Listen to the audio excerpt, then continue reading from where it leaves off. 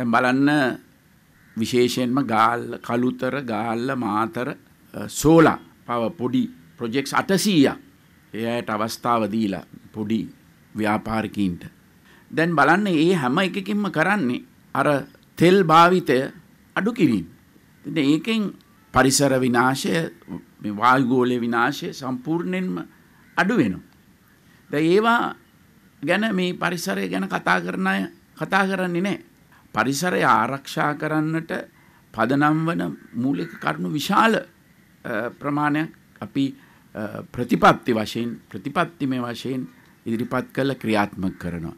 අපේ ප්‍රතිපත්ති මාලාව දිහා බැලුවම අපි මෙච්චර මේ මේ කෙටි කාලය තුලදී කරපු දේවල් දිහා බැලුවම අපේ මූලික ප්‍රතිපත්ති පදනම් වෙලා තියෙන එකෙන් ප්‍රතිඵල ලැබිලා තියෙන්නේ ප්‍රාදේශීයව ගම්බදව ග්‍රාමීයව දැන් දිස්ත්‍රික්ක ගණනාවකටම ගිහිල්ලා තියෙනවා ගම සමග පිළිසඳරක් වැඩසටහනට මම ගිහිල්ලා තියෙනවා අද විශාල ව්‍යාපෘති රාශියක් මේ ප්‍රාදේශීයව තිබෙනවා අපේ වැඩි හරියක් විශාල ප්‍රමාණයක් ඉතාමත්ම මන්දගාමීව සමහර ඒවා වෙන්නෙම නැහැ.